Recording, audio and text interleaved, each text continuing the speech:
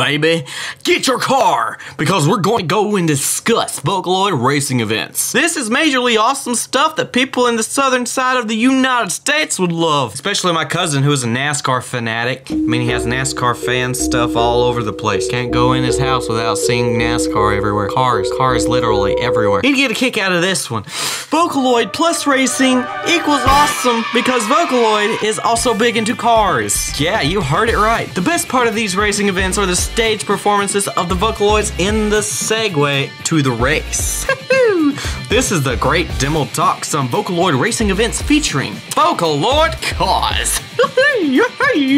First off, I gotta go into history of a racing event known as Super Gran Turismo, or most commonly known as Super GT. Super GT was started in 1993 to remake the racing scene from previous defunct events and it's been going for just about 25 years now. Now, racing has been around even before the car, but high speed racing has been around since the car. Unless you're talking about cannonball races or horses, which I actually didn't take into account when writing the script, but who cares? Horses are horses, of courses, and these are cars. These cars go well above 100 miles per hour to win, and each race, much like in Mario Kart, you know, except for the gigantic blue shell coming to destroy your face your family. For all of you that recently played Mario Kart that doesn't actually watch racing events, these races are sectioned off into different classes. According to Wikipedia, the cars are divided into two groups, GT300 and GT500. The names of the categories derive from the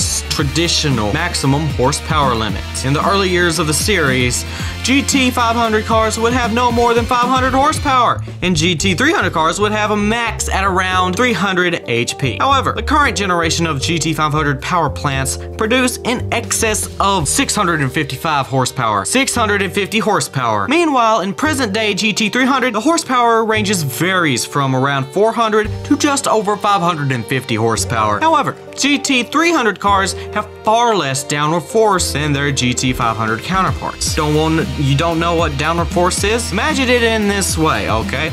GT500 cars are heavier and less aerodynamic than GT300 cars, which are lighter and smaller in most cases. Of course, each car has their own backing by certain car companies like Toyota and Honda and such, but are also assigned a number much like in NASCAR in America. One thing that America and Japan have in common without it being anime or video games is their cars and racing, I gotta say. NASCAR in our United States, which I watch sometimes, sometimes not all the time, for all those who don't know, actually started as an illegal sport, using moonshine as the fuel for the engine to go fast. Gotta go fast? Mm, that's a new take on Sonic, Sega. Don't do it.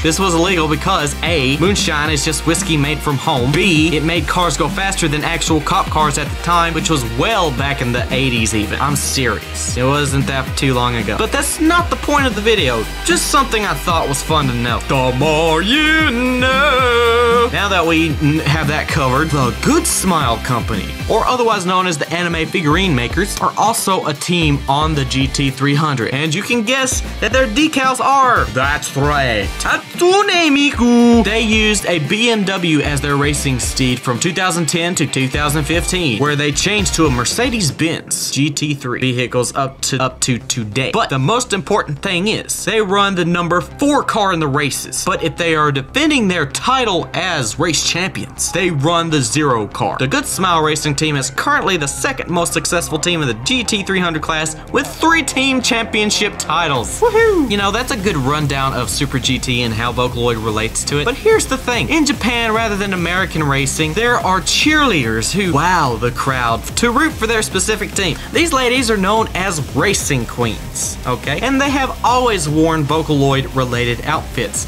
since their debut on the Good Smile side. The original 2008 Racing Queen trio were, were nicknamed the Miku Miku Gals. Not sure if I'm supposed, supposed to say Miku Miku Star Gals or Miku Miku Gals, but there's a star right in between Miku and Gals. You know, uh, maybe it's just something to make you look more cute. I don't know.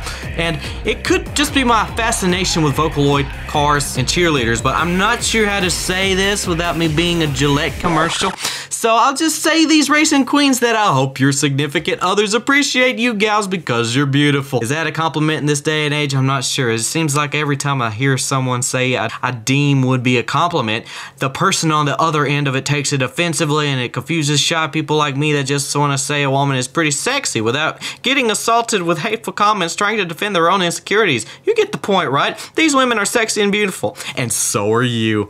IA really does like racing as well, having an official album for Super GT named Circuit Beats for Super GTs. 20th birthday. It was a very good album, complete with CDs and merch, as well as full-on concert in the middle of the raceway. Honestly, that's as much information as I could get from a simple Google search. So if you know anything, then go ahead and tell me in the comments so I can make an update video. Now it's time for my own personal opinion on Vocaloid and races. I personally think they go together like pie and crust. But, but I do realize why racing is so popular in Japan, simply by way of gambling. I'm not sure how I feel about Vocaloids being attributed to gambling in certain ways, but then again, it isn't directly correlated, and I'm not sure they want to keep the image of their singers in a positive light instead of the subtle dark alleyways that are actually the front gate to the raceway. Weird, but that's just that's just being raised in a different culture. You know that that's just me. That's just me. My personal favorite thing about Vocaloid racing, which would be a good game for Sega to make since they like making racing games so much, is that racing introduces people to Vocaloid. Of course, specifically Japanese people, but but still, it's amazing to watch and also just so spectacular of an idea that I'm kind of jealous they don't have it in NASCAR in America. and, and honestly, I'd love to see other Vocaloids come into play. But that's all I've gotten this far, so if you know anything else, let me know in the comments down below, please. I love this stuff. So, if you want more Vocaloid or gaming content, then press the subscribe button. And if you want to see more of Demo Talks, then go ahead and click that like button as well. Don't make me a Gillette commercial. I don't want it. I'll, I'll accept royalties if you do, though. Don't you doubt that. I think you'll come back. I know you'll come back for some more Demo Talks. Catch it next time.